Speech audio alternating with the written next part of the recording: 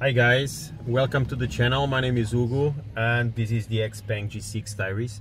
So I'm doing this um, uh, video, um, very fast one, just to show you one of the things that I do like uh, most on the LCC, so on the self-drive for the Xpeng and I believe that most of the cars that has this functionality uh, will benefit from this.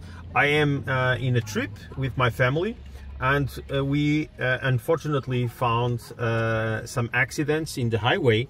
So this is completely stopped as you can see. And I will show you one of the things that I am being using it already but I uh, stop now just to show you what I would what I like to do when I am in these type of situations. That is activate the LCC mode and then let the car manage this. So we are going to start uh, driving so the car already said that it's driving and I will activate now LCC it's done and that's it. So now it's the car that will manage all the driving in the traffic uh, jam here. So it will um, move forward so it, it will accelerate it will brake it will come to a complete stop as you can see. So it is still uh, driving a little bit so seven but it's going to stop now completely uh, by itself as you can see. And it will manage the traffic jam while we are doing here. Um, and that's it. So it's a very very quick video. Also just one note. So for instance now I have the LCC on 30 kilometers per hour okay?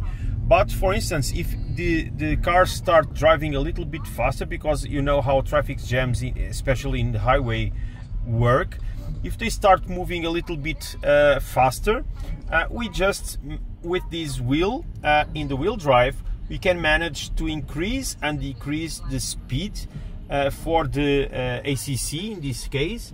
And I would just suggest that you keep it under 30 or uh, on the 30 level uh, so that he manages this co uh, complete stop and distance um, without any issues because I found that uh, when I am a little bit faster on the uh, maximum speed um, here it will brake but it will come very close to the cars in front of us. So I do believe that it's better to keep it on the third 30 um, speed level when the cars are moving slowly um, and then you can increase only if there is the possibility to run to run uh, a little bit faster.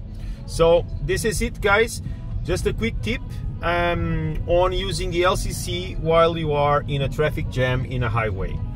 See you in the next one guys. Bye bye